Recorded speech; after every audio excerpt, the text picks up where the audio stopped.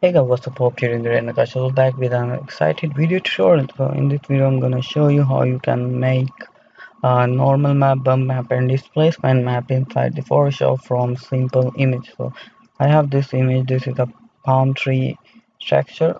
So we just open it inside the Photoshop. So here we go. Now make sure you have RGB mode if uh, your image in another mode like CMYK or any other it's not gonna work. Click on filter and uh, go on 3d tab. Uh, make sure you have a Photoshop CC it's not working with less uh, than the CC version so make sure you have CC so click on 3d and there is a two option. First we create bump map. Just click on generate bump map. Okay we just escape for now because we need to duplicate this layer for later use. So now just go back and filter generate bump map.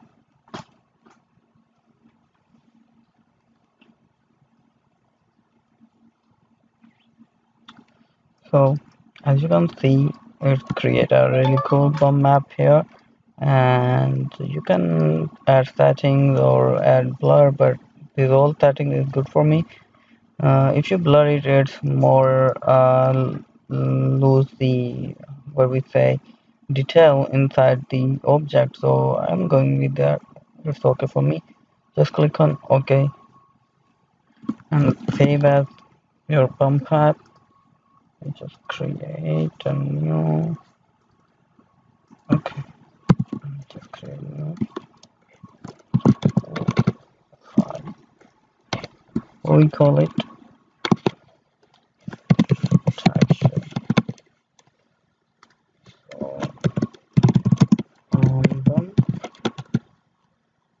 um sorry yeah, change the format so back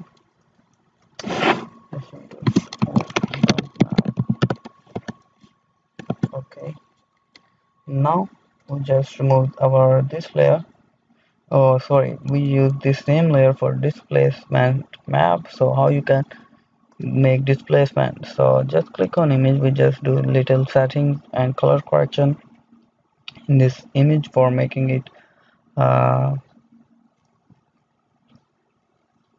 displacement map. So we just go in image uh, tab adjustment click on level. So we just increase uh, black and also we just increase our white or make it a little bumpy. So just also use curve. Uh, there is a short command control M for curve. No it's not working I don't know why but you can use the curve so just make it little bit so and you can add more detail with brush or this burn tool. And here we have our burn tool. So make sure you select shadow uh, range shadow and exposure 50 percent. So what we can do we just make sure all black is more black. You want okay. Okay it's okay for me. I don't do any extra stuff. Just save this file. Your texture as displacement map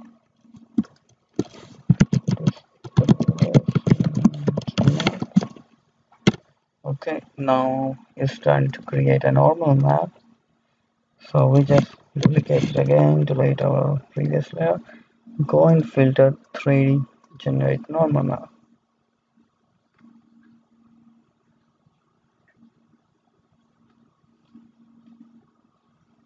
okay so here you see there is invert height selected but we don't want to invert it. We just make it uh, simple. So when you click on invert so as you can see upside down it's happen this side is down it's gonna up and this side is up it's gonna down. So it's okay for me. And save this map as a normal map okay now we check our material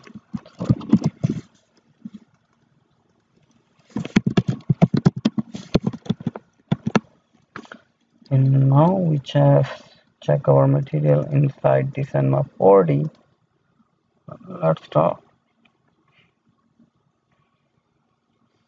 So here we go.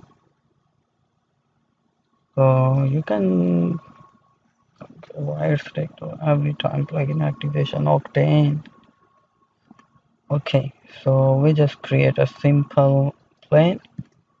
Make it a little bit smaller like our texture. We create a material here apply on it. We add diffuse color as our um, texture just remove the relaxation, uh, reflection for now. You can also create reflection map inside the Photoshop but we talk it on, uh, on it later. So remove the reflection and normal map. So so as you can see when we apply normal map you can see different. I think you can see something different when you from there see from there if you remove the normal map there is nothing. When you apply this happen now when you apply bump map you can use normal or bump for as the same time.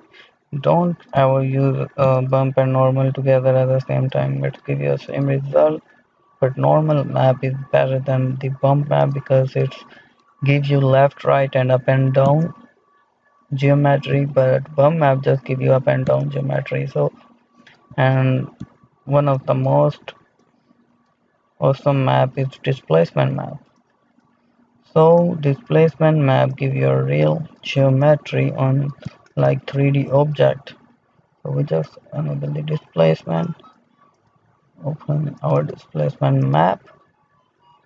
As you can see it's all gonna mess here so when you render it so you can see the displacement.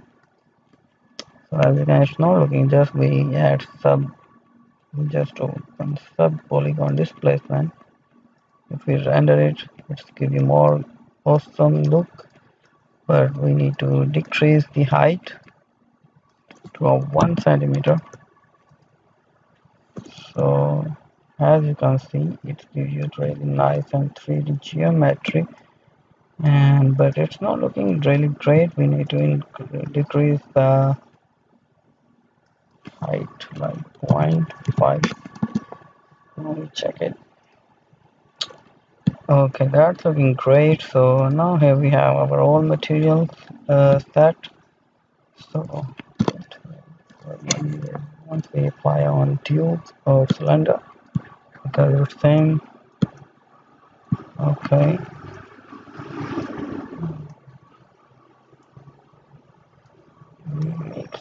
tiling here.